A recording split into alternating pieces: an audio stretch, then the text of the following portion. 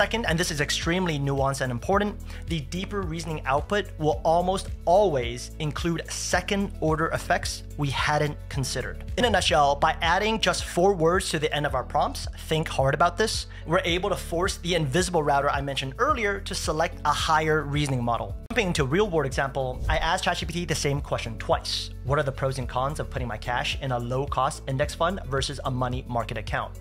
First, without the nudge phrase, and then with the nudge phrase. Comparing the outputs, you'll see a few key differences. First, you'll know that deeper reasoning was triggered when you see this thinking indicator showing that ChatGPT thought for a set amount of time. Second, and this is extremely nuanced and important, the deeper reasoning output will almost always include second order effects we hadn't considered. In this example, GPT-5 gave a much better answer with more thinking time.